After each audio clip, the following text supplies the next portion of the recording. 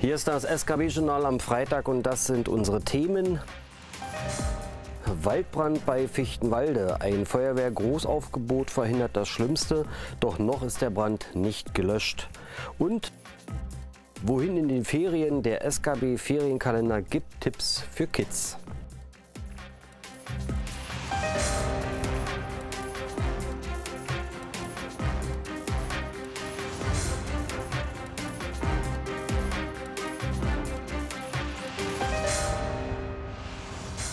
Und damit, meine Damen und Herren, darf ich Sie zu den aktuellen Nachrichten recht herzlich begrüßen.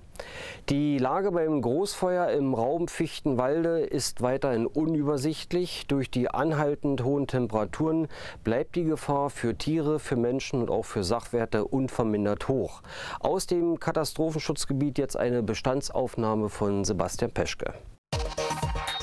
Es sind Bilder, die das Ausmaß des verheerenden Waldbrandes bei Fichtenwalde erst so richtig verdeutlichen. Aufgenommen von Autofahrern auf der A9. Hier reichte das Feuer sogar bis an die Leitplanken. Vollsperrungen auf Teilen der Autobahn A9 und A10 waren die Folge. Hier ging nichts mehr.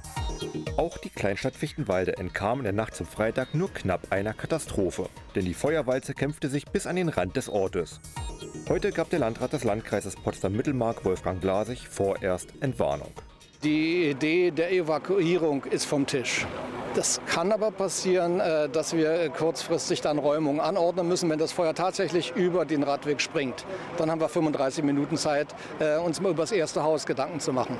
Dazu soll es nicht kommen. Im Moment sieht es gut aus, aber Feuer, wie gesagt, sind unberechenbar. Mit einem Großaufgebot von Einsatzkräften kämpfen die Feuerwehren noch immer gegen den Waldbrand. Über 200 Kräfte aus dem Hafenland, der Stadt Brandenburg, dem Landkreis Dahme-Spreewald und aus Potsdam-Mittelmark sind vor Ort.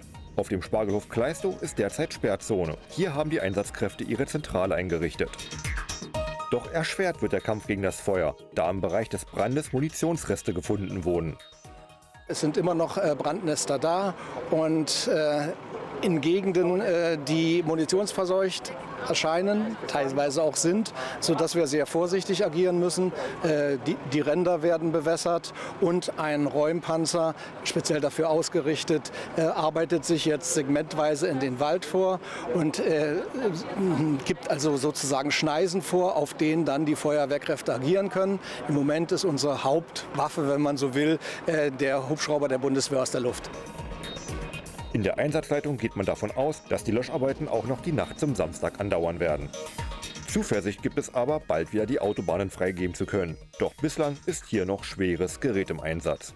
Die Autobahn wurde deswegen gesperrt, weil das ein Bereitstellungsraum war für die Feuerwehren, die den Böschungsbrand bekämpft haben. Im Moment patrouilliert sozusagen auf der Autobahn ein Wasserwerfer des Innenministeriums, äh, der gegen äh, diese Brandnester eingesetzt wird. Und der fährt auf der A10 und der A9 auf dieser einen Spur. Deswegen wird die noch eine Weile gesperrt bleiben. Alle anderen Spuren können wir höchstwahrscheinlich bald freigeben. Bislang rät die Feuerwehr und die Polizei das Gebiet rund um die Autobahndreiecke Werder und Potsdam weiträumig zu umfahren. Ein Einsatzende ist bislang noch nicht in Sicht.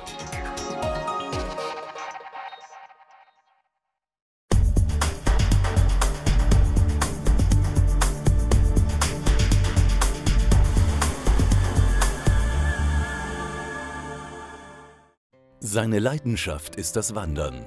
Doch das wurde für Josef Bader immer beschwerlicher. Vor zehn Jahren wurde bei ihm Arthrose im Knie festgestellt. Vor zwei Jahren konnte er kaum noch gehen. Die Schmerzen im Knie, die waren so stark, dass ich weder radeln konnte, ich konnte nicht Treppen steigen. Josef Bader hat es geschafft. Sein Knie kann er wieder schmerzfrei bewegen. Geholfen hat ihm letztendlich Rosaxan. Rosaxan zur diätetischen Behandlung von Schmerzen und Gelenksteifigkeit bei Gonarthrose. Und jetzt, liebe Ferienkinder, Augen auf und Ohren gespitzt. Hier kommt der SKB Ferienkalender mit Tipps für die kommende Woche. Die Galerie Sonnsegel lädt nächste Woche zum Arbeiten mit Ton ein. Wie in prähistorischer Zeit entstehen in der Bändertechnik Gefäße aus Ton, die im Anschluss individuell bemalt werden können. Um eine vorherige Anmeldung wird gebeten, die Unkosten betragen 5 Euro. Los geht's immer ab 14 Uhr. Im Krugpark wird der Wald erkundet. Es wird einen Niedrigseilgarten geben, in dem geklettert werden kann. Außerdem werden die Waldbewohner unter die Lupe genommen. Und wer darauf keine Lust hat, der kann auch einfach ein bisschen schnitzen. Los geht's am Dienstag um 9.30 Uhr.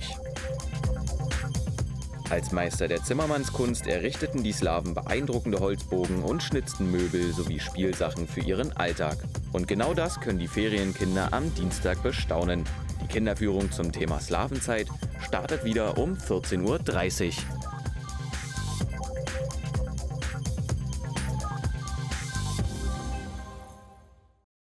Und hier noch ein Hinweis vom BSC Süd 05. Das Testspiel gegen SD Kroatien aus Berlin am Samstag fällt aus. Dafür testet Süd dann am Sonntag gegen den TSV Rudo. Spielbeginn ist auf dem Seelenbinder Sportplatz 14 Uhr. Und Optik Rathenow hat sein erstes Spiel in der Regionalliga. Um 13.30 Uhr erwarten sie Neugersdorf aus der Lausitz. Anpfiff ist 13.30 Uhr. Und hier sind die Wetteraussichten für die drei kommenden Tage und man muss schon sagen, leider ändert sich da nicht viel. Traumhafte Aussichten bei jedem Wetter. Der Sparkassen Privatkredit.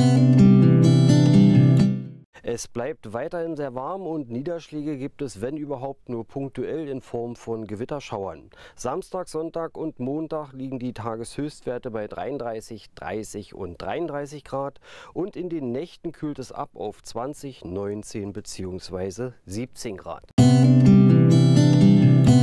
Traumhafte Aussichten bei jedem Wetter. Der Sparkassen Privatkredit. Noch ein Hinweis, in der Nacht von Freitag auf Samstag findet die längste Mondfinsternis des 21. Jahrhunderts statt. In der Zeit zwischen 21.30 Uhr und 23.13 Uhr befindet sich der Mond während der Finsternis vollständig im Kernschatten der Erde. Also ein Phänomen, was man unbedingt nicht verpassen sollte. So, meine Damen und Herren, das waren dann die aktuellen Nachrichten. Ich darf mich verabschieden, wünsche Ihnen ein sehr schönes Wochenende. Am Montag ab 18 Uhr sind wir dann wieder mit aktuellen Meldungen für Sie zur Stelle. Tschüss und auf Wiedersehen.